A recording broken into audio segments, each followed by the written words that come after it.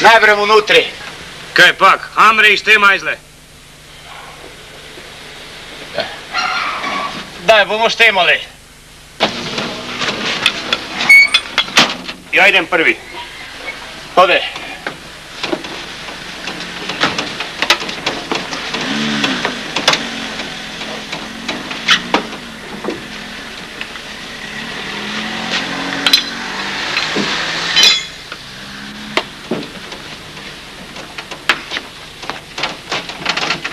Kaj mrtvec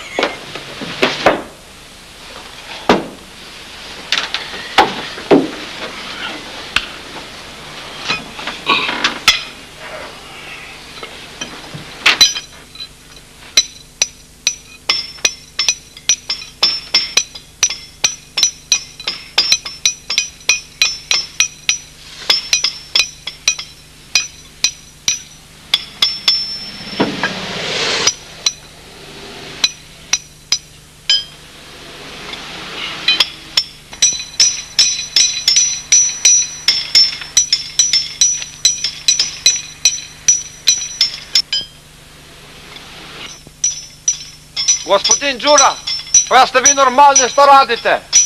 Pa kaj ne veš, da najbrem vnutri? Slušaj, Đura, lepo fino seđi s kamion, spusti gume i fino ulaziš unutra. Pa kakvi si ti, Hrmak, pa k nama ne smeta doli, nego gori.